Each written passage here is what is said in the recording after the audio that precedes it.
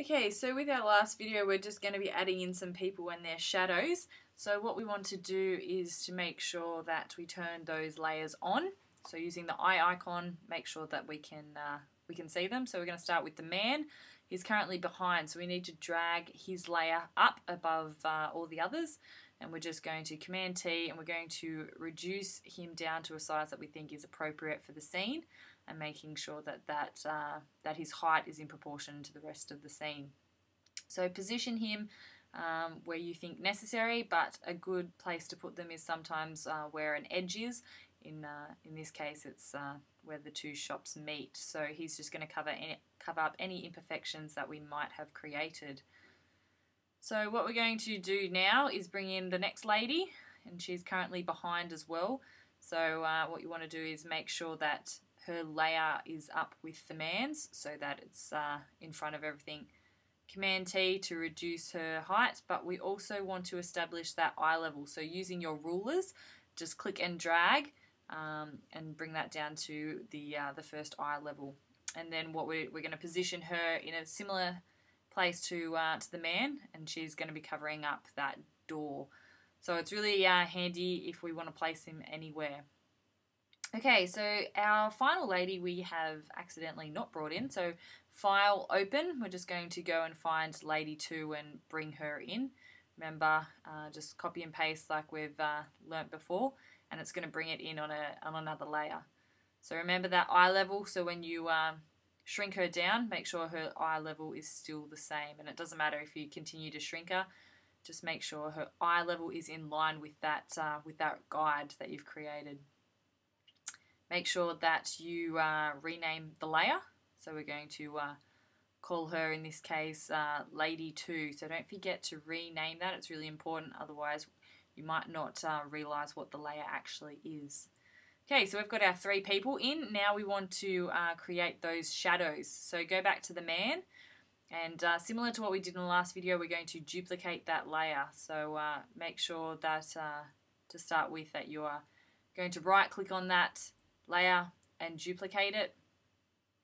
And we're just going to call it uh, man shadow. So we're going to do this for each of uh, the human figures. Matter of uh, we're going to flip vertically like we did with the other reflections. We're going to simply drag it down until his feet matches. Now with all these, keeping in mind the perspective that we're uh, trying to establish here, um, you will have to uh, distort him slightly just to get that angle uh, accurate. So once you're happy with that, what we're going to do is, uh, because we don't want to actually see what he's wearing or anything like that, we're just going to create a, a black shadow. And uh, what we're going to do is uh, go in and create a color overlay. So once you're happy with that, going to uh, double click and it'll bring up this layer style we want a color overlay. So click on that um, and you can also uh, double click on the left hand side to bring up the palette.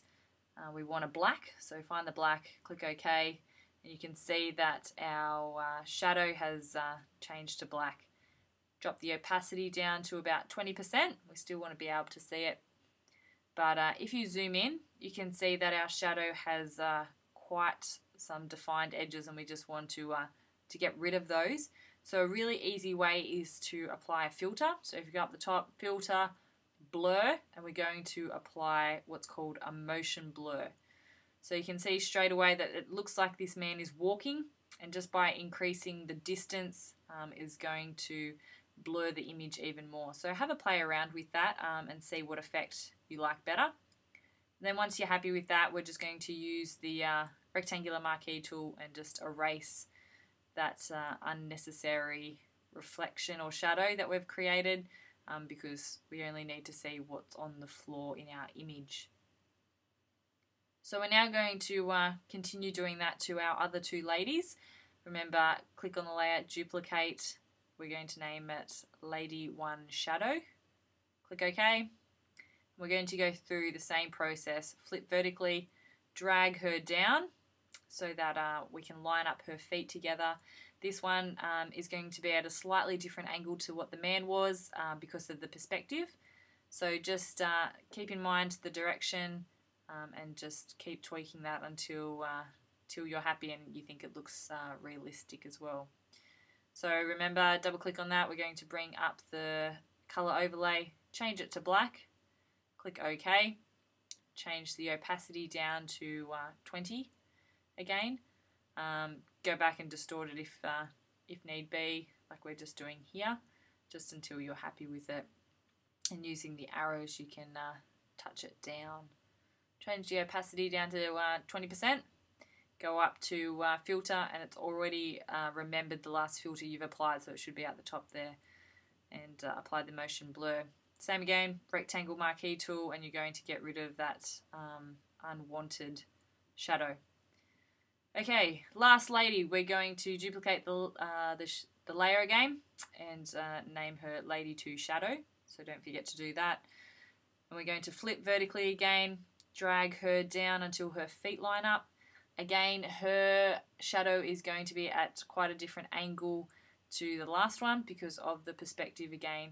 So just keep in mind when you're doing this that you need to make sure that it is looking realistic. Yes, it's just a, a blur on the ground, but it will need to be realistic. So just keep touching it up and down until you're happy with it.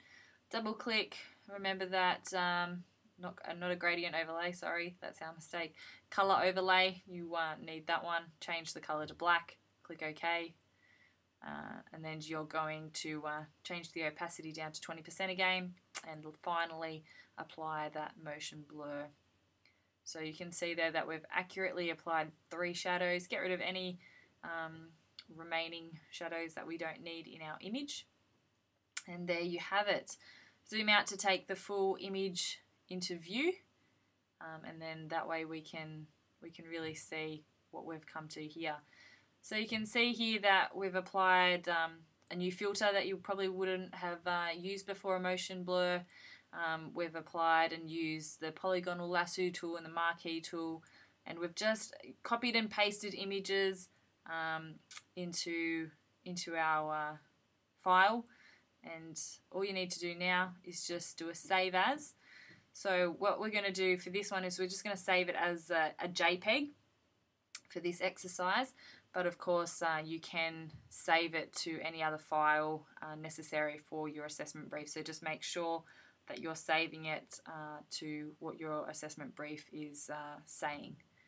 So click save and uh, what we want to do now is make sure that our quality is at high or maximum I should say and that is going to be 12 now we want to make sure that we save our file that has all our different layers in it. Okay, this is really important. If you don't save this file, it will be lost.